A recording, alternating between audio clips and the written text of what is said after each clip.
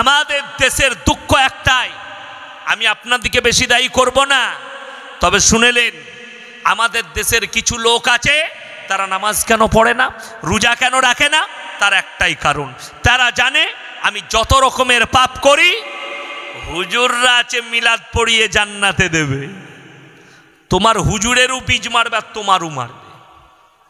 তুমি যদি মনে করো মিলাদে জান্নাতে যাব। কোনো হুজুরকে দোয়া করতে শুনেছেন? আপনাদের দেশে এই মুর্শিদাবাদের নদিয়ায় অনেক জায়গায় মিলাদ হয় না? শুনেছেন? মৌলবীরা দোয়া করে, সেই হুজুররা? কি? আল্লাহ মদ খেয়েছে, গাঁজা খেয়েছে। আল্লাহ জিনা করেছে, সুদ খেয়েছে। আমাকে যখন হায়ার করে এনেছে, দেশি মুরগি দিয়ে ভাত দেবে, পাঁচ হাজার টাকা দিবে আর বাপকে যা হোক করে জান্নাতে দিতে হবে, এই দোয়া কেউ করে?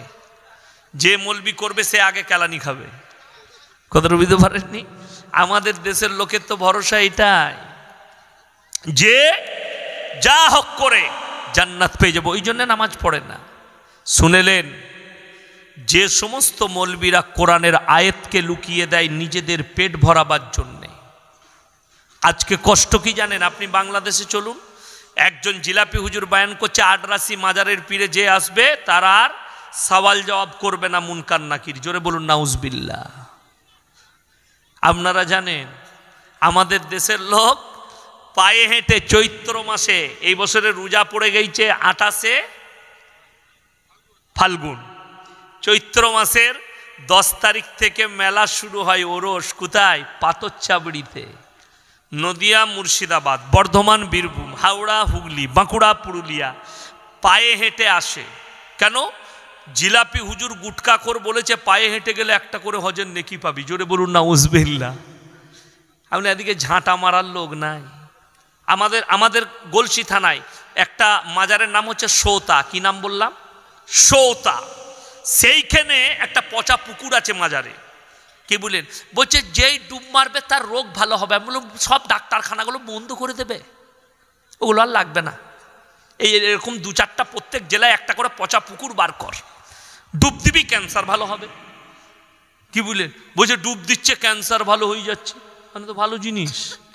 তাহলে বর্ধমানের যতগুলো সাড়ে চার হাজার ডাক্তার আছে, তাদেরকে ছুটি করে দিই, তোরা ঘর চলে যা। পুকুর এমন বেরিয়েছে, ডুব মারলি, মাল রেডি কথাটা বুঝতে পারেনি এদিকে যে কি কেলানো, কেলাবে কবরে, আল্লাহ ছাড়া কেউ জানে না। আমি বললি, খারাপ বলবি, গালি দাও।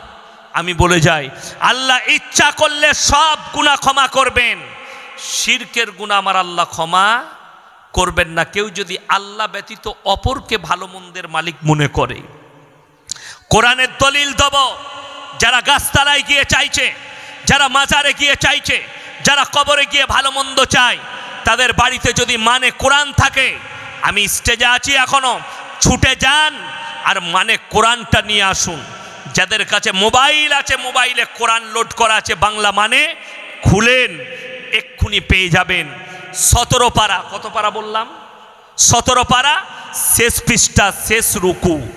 ইয়া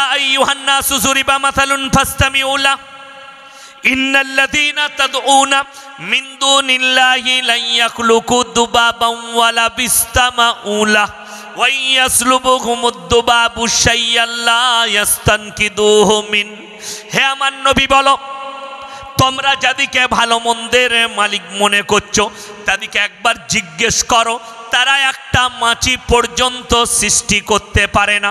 মাছি সৃষ্টি তো দূরের কথা। মাছি যদি তাদের কাছ থেকে ছিনিয়ে নিয়ে যায়, সেটা উদ্ধার করার মতো ক্ষমতা নাই। জোরে বলুন না সুহান আল্লাহ দেখবেন, কিছু ভাই সেদিনে দাবি করেছে যে জো পাত্তার হ্যাঁ উস্কা জব মূরত বানায়া যাতা মূর্তি যখন বানানো হয় তাকে যখন প্রাণ প্রতিষ্ঠা করা হয় তার মধ্যে প্রাণ চলে আসে তো আমরা নয় আমি সওয়াল করিনি আমার অন্য ধর্মের প্রতি আমার প্রশ্নও নাই তাদের যেটাই বিশ্বাস কিন্তু একজন হিন্দু ভাই একটা পণ্ডিতকে মিডিয়ার সামনে প্রশ্ন করছে আগার পাত্তার কো মূরত বানাকে মূর্তি তৈরি করে তার মধ্যে যদি প্রাণ প্রতিষ্ঠা করা হয় हमारे देश के जवान जब मर जाता है बॉर्डर में सेना जवान तो उसके अंदर आप लोग जान क्यों नहीं डाल सकते কথাটা বুঝতে পারেননি কথাটা কিন্তু খুব সুন্দর বলেছে ওই লোকটাও হিন্দু যে বলেছে আমি প্রশ্ন করিনি তাদের লোক বলেছে के इसके अंदर जान आप लोग क्यों नहीं डाल सकते पत्थर में डाल सकते हैं तो इसके अंदर भी डालना चाहिए जो मर गए उसके अंदर फिर से डाल दो हमारा जवान तो नहीं जाएंगे हमारा जवान तो जवान ही रह जाएंगे আমার মুসলমান ভাই দুঃখ ওই জায়গায়, বেদনা ওই জায়গায়।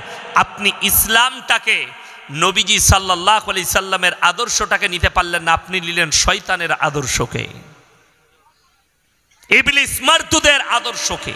ইব্রাহিম নবীর বাপের তিনটে কাজ ছিল, কটা কাজ? তিনটে। একজন দেখবেন পেপারে লিখেছে, মোবাইলে পাওয়া যাচ্ছে। মূর্তিটা যে তৈরি করেছে, সেই ছেলেটা মেদিনীপুরের একটা মুসলিম যুবক। ঠিক বললাম না ভুল বললাম? আমি যেটা নাম দেখলাম মোবাইলে।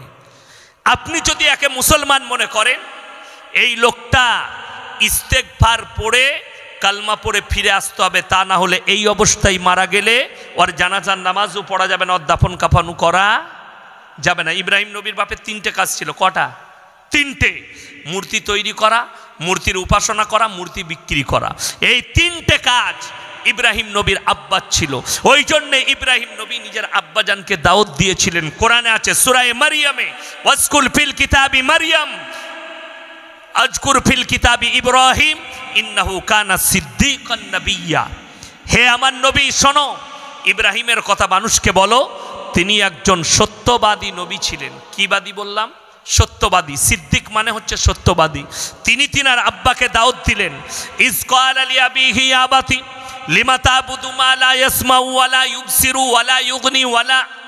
আনকা হে আমার আপনি কার উপাসনা করছেন? হাত পা নাড়তে পারে না, কথা বলতে পারে না, নিজস্ব কোনো ক্ষমতা নাই। আপনি কেমন করে তাদের উপাসনা করছেন? এটা শয়তানের রাস্তা, এটা ছাড়ুন। আর আমার আল্লাহকে বিশ্বাস করুন। যারা কবর পুজো থেকে, গাছের পুজো থেকে ফিরে আসতে পারছেন না। আমি এই গত বৎসরে চৈত্রর সময় হুগলি ডিস্ট্রিক্টে এক জায়গায় জলসা ছিল, আমাকে দাওয়াত দিয়েছে। তো এরকম বড় প্যান্ডেল, প্যান্ডেলের পাশে একটা বিরাট গাছ। তো চাতাল করা ছিল, মনে হয় ওটা ঈদগা ফিদগা হবে। আমি স্টেজে গেলাম, ওই গাছের গুড়ায় দেখলাম চাদর ল্যাপটানো আছে। তার নিচে দেখলাম খানিক ঘোড়া আছে, মাটির ঘোড়া, জানেন তো? মাটির ঘোড়া। মাটির ঘোড়া আছে আগারবাতি আছে মোমবাতি আছে। আমি স্টেজে চেপে বললাম বাবা তোমরা খুব ভালো গো। বলে কেন হুজুর? আমি তোমাদের মধ্যে মিল মহব্বত আছে হিন্দু মুসলিমের। এই তো এখানে হিন্দু ভাইরা পুজো করে আর তোমরা এখানে জলসা করছ। বলে ওটা হিন্দুদের লো, ওটা আমাদেরই। আমরা এটা কি তোদের বে? এখানে কি আছে? বলে বুড়ো পীর আছে। আমি তো বা তো বা বলে বুড়ো পীর আছে। আচ্ছা আপনারা বলুন দুঃখ লাগে। এই জিলাপি হুজুর আর গুটকা খরগোলাকে জিজ্ঞেস করুন। এরাই বলে, হিন্দু ভাইরা মাটির মূর্তি তৈরি করে পুজো করে না করে না? ওটা সেরেক না ইমানদারি? কথা বলেন, ওটা সিরেক আল্লাহ ব্যতীত অপরের উপাসনা করা চলবে না। যদি ওটা সেরেক হয়, ওরে হারাম কর তুই মাটির ঘোড়া রেখে সিজদা করছিস, ভালো মন্দ চাইছিস, এটা কি করে তোর সেরেক হবে না?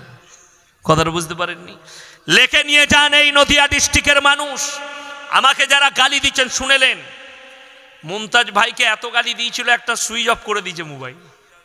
জানে ফোন তুলে না, সুইচ অফ করে দিয়েছে।